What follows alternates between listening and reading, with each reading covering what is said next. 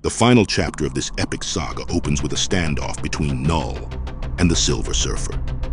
The Silver Surfer transforms his board into a sword and prepares to fight against the god of darkness. In a way, I admire you, little light. You will die a noble death. Perhaps, but I shall not face it alone. Avengers!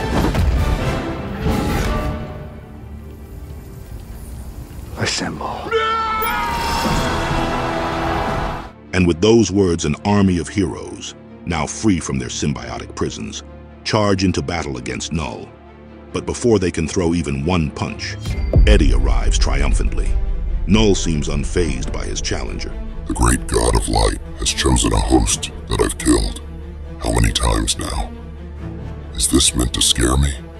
Eddie then effortlessly summons both Mjolnir and the Silver Surfer's blade, and then fuses them together to form a powerful battle axe, and launches into battle. Knull flees as Venom flies after him.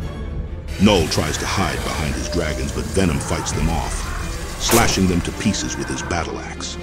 Knull tries to stab Venom in the back while he is occupied, but Venom easily catches Knull's blade in his hand. No. No more swords. No more dragons. Just you and me. Venom throws Knull to the ground, but before he can deal the final blow, he is interrupted by one of Knull's Celestials. The Celestial is only a brief distraction as Venom flies up to meet it and decapitates the monster. Venom now has Knull by the throat and dangles him from the top of a skyscraper. I remember when you dragged me up here from the sewers. All the pain, the fear, the agony, as you ripped my other from me. Venom then raises his battle axe to the sky and buries it into Knull's chest. I remember it all.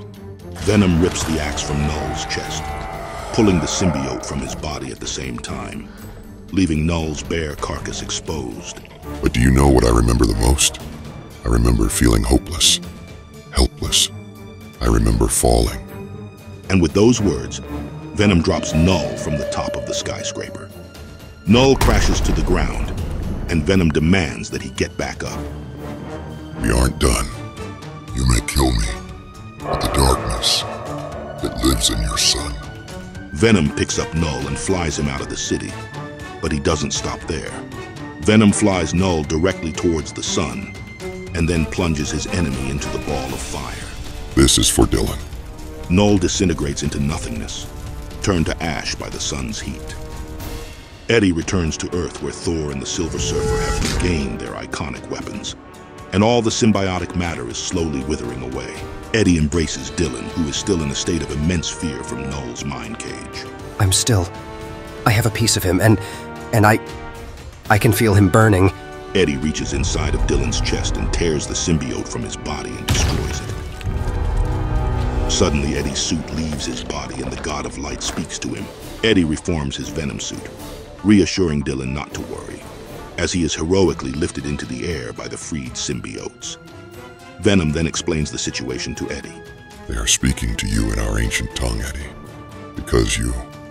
you defeated the void. You freed our kind. You are the hive mind now, Eddie. You are the god of the symbiotes. You are the king in black. That's all for this dark tale. If you're interested in more symbiote-related comic stories, check out the videos on the screen. And please like and subscribe. We'll see you next time. Take care.